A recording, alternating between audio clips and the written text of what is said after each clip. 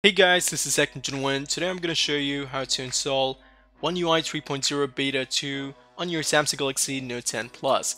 Make sure that you already have Beta 1 installed on your device. If you have not, then you can check up on the top right corner or on description for the link and the guidance to install Beta 1.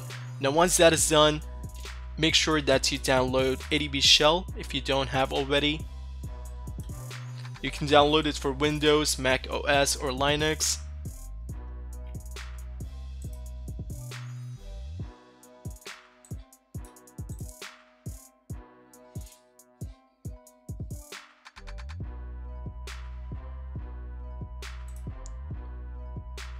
Now drag the file onto the desktop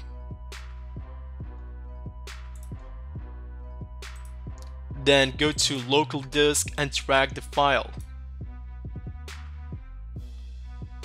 Now once you have dragged the file, just close the window right here. And then just go to start and type cmd. Press on file location and then again file location. Now press copy and go to your folder which you have downloaded and then press paste. Now what you have to do is, is to right click the CMD, go to properties, compatibility tab, and run as administrator. Press OK. And now make sure that you download the beta 2 program, the ROM I mean. The link will be on description for that as well. So once you go to this link, scroll down and you will see beta 1 and beta 2. If you click here, you have two options, you can download from Google Drive or for faster download then you can download this one. Now once you have download you should have this file. Simply rename it as OTA. Now once that is done, go to the file which you have downloaded earlier and then drag it there. And now just launch CMD. Now on your device, make sure that you have sufficient battery life so that it doesn't disturb the process. Now open up your phone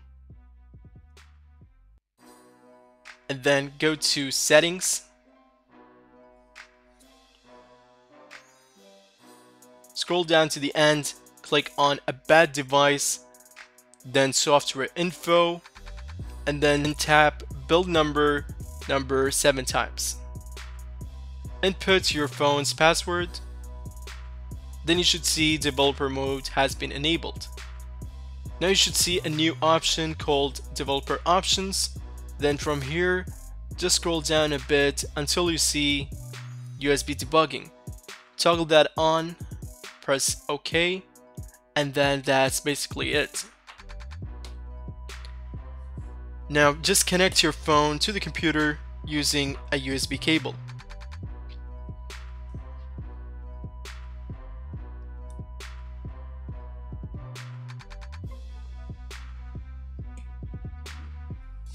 Now, once you connect your phone to the computer, you should be prompted with this USB debugging permission. Simply press allow. Now on your computer, just go to the CMD and type ADB space devices. Then you should see the list of devices. It should show attached and the codes right here. If it doesn't, then there might be some problem with the ADB software on your computer. Now once this process is okay, now we should proceed with the next code. Now type ADB reboot recovery. Press enter. It will reboot your phone to the recovery.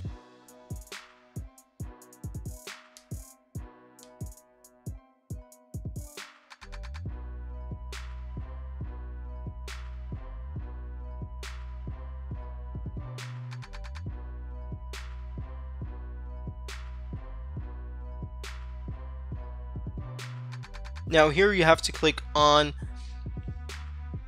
apply update from ADB. Press power button to access it.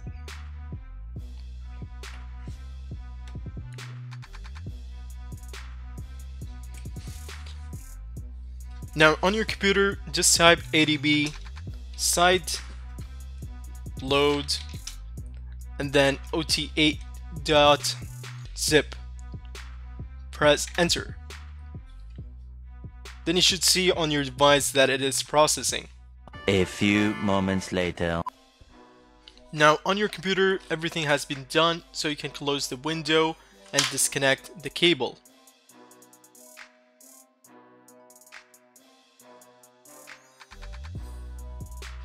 And that's basically it. The performance and animation is still better smooth. I'll be looking in on what changes or improvements are there on this beta too. And if you haven't checked out my previous video of almost 48 new features or improvements, then you should.